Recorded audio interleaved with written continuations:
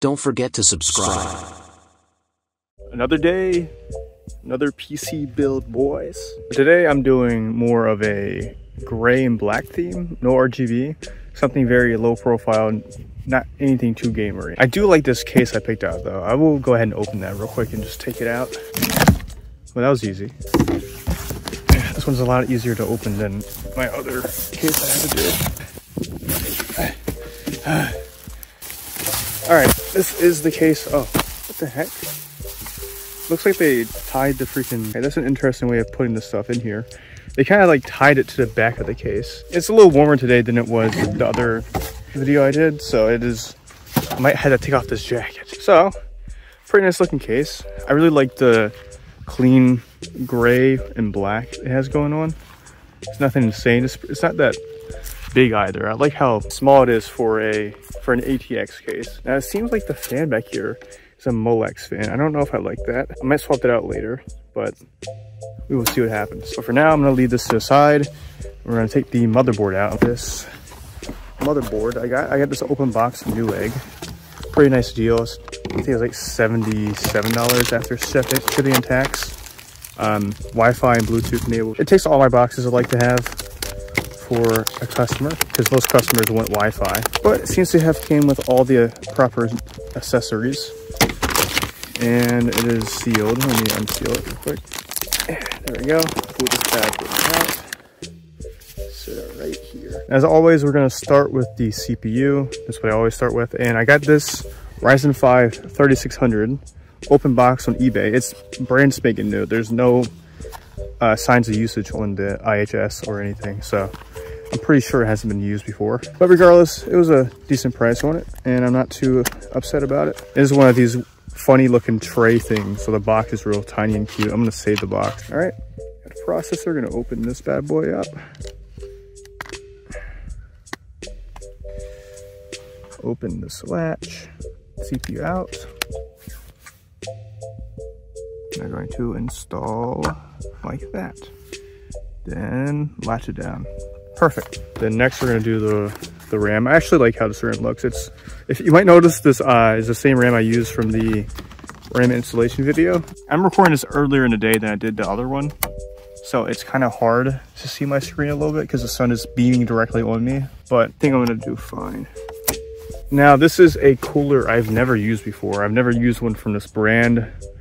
I never used this model. I never used anything from this brand before, so I have no idea if it's good or not. But it kind of fit this the uh, theme I was going for, so I figured why not try it out. It was one of the cheaper ones too, so kind of worked out in my favor anyways. This is also brand new. I've never opened it. Uh, seems like, what is this? Okay, these seem to be the mounting kits. Oh, you pull it out like this. I see, I see thank you for labeling the bags properly. You know, that's greatly appreciated for me. Like I said, I've never installed one from this brand before, so I, might actually have to look the, at the instruction booklet. Oh, you're supposed to like grab it like that. Okay, that's cool, that's cool. Always like a cool unboxing experience. This, like so. Huh, pretty nice. I like how this looks. I am going to wait until I have the mounting stuff on before I pull the cooler out, just so it's not all over the place. I will have to unscrew these first.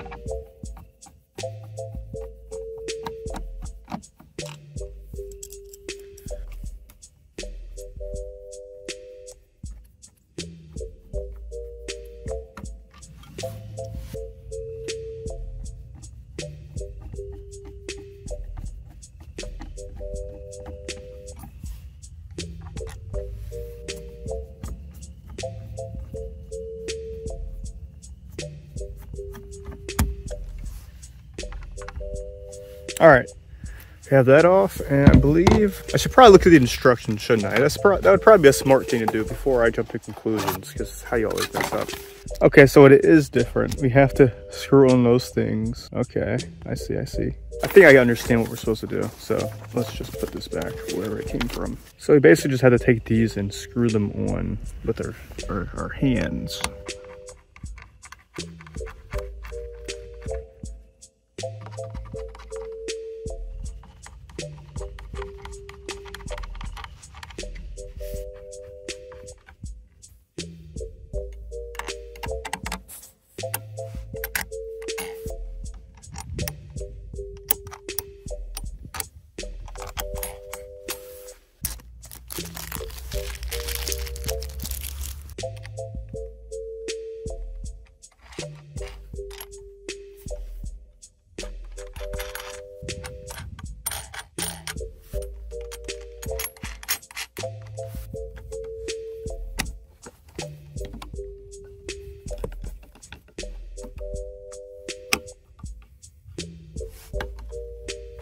Okay, now we can pull out the cooler. Oh, you can open it at the side. Okay, see, this is what I like to see. I love packaging that just makes sense. You can just open it at the side and I have to freaking pull it out. This is actually really nice. It's pretty nice looking cooler though. I actually do like it. It's nice and matte. There's not really much metal showing. And it does seem like we have pre-applied thermal paste this time around, so I don't have to show you my application method again. I don't know how people feel about pre-applied thermal paste, but whenever it's available, I, I just kind of use it. I don't really see a big problem with it. You need to line this up real quick. Make sure it's in the right place. Oh, I gotta take out the freaking fan, don't I? Oh my God. So that's how you take it off. You take off the top part and then you can slide it straight off. Okay, that's actually really nice. Oh, oh, it just comes right off like that. Cool. And then this just sort of slides off. Oh my God, I love that. now we can install the cooler. Awesome. I will say I really like the, the shape of this heatsink. I don't know if that really matters much. It really doesn't, but I just, I don't know, something about the, the curviness of it. I don't know, it looks kind of nice. I'm not trying to riz a CPU cooler, guys, I promise.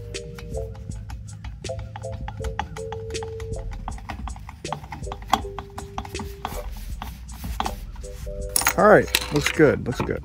Now we can put the fan back on like so. And then this top part just kind of clips back on like this. Next, we have the storage. I'm not gonna forget forget it this time, hopefully. I did forget a freaking screw, screwdriver to uh, use for it though. So uh, let me go grab one. It's starting to become a recurring theme where I just kind of like forget vital parts of the PC build in my house, but I think we're gonna be fine. All right, so we got the SSD.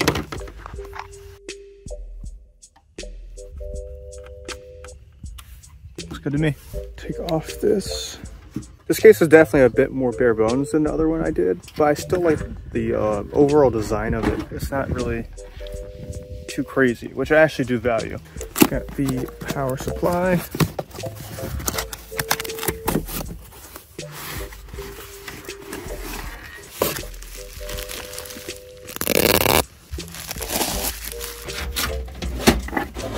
Let's take out this side panel real quick too. I haven't used a side panel that's been secured by screws in so long. Most of the ones I've been using lately have been just kind of snap on, but this definitely takes me back to my first case I ever used. It's one of those Cooler Master box cases. I don't know what you freaking call them. Slide that off. And it, this is tempered glass, so it's not all basic. What is this? I'm reading upside down. Okay, just simple little instruction manual. Got some more screws.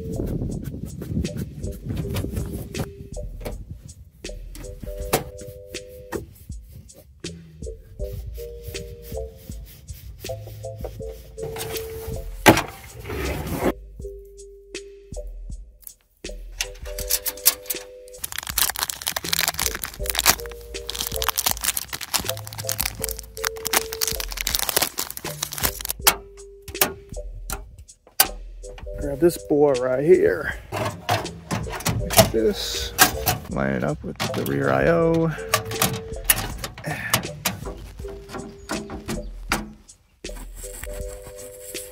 This is one of those cases where you have to kind of break off the, this part. There we go. I'm gonna cut away real quick just so I can get everything routed where I want and then I'll get right back when I go to actually plug in everything. All right, this is how we're doing in terms of routing everything. I mean, I think it looks pretty good. I didn't really do anything crazy, but it it's doing its job. I did go ahead and plug in anything that's super tedious to plug in, like these low front panel connectors and then these freaking four pin CPU connectors. But as for the stuff that's a bit easier, I'm gonna go ahead and plug it in. Looks good to me. I also forgot to plug in the CPU fan. That would probably be important. There we go. Plug that in. Next, all we got is the GPU, and we're going to be done, finally. I always like these cards. These are just very nice and simple, very clean, just nothing too crazy. I like how they're not really stand out. They don't like to stand out too much. All right, slot the GPU in, screw the GPU down.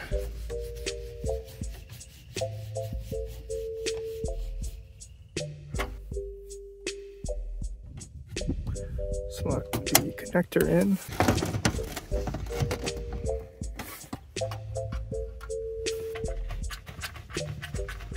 All right, that just about does it for this PC build. I think we've done a pretty good job with making everything look nice and neat. Nothing's too crazy though. Yeah, I think it's turned out great. I'm gonna put the side panel back on real quick and then we'll finish up everything. Thank you for watching.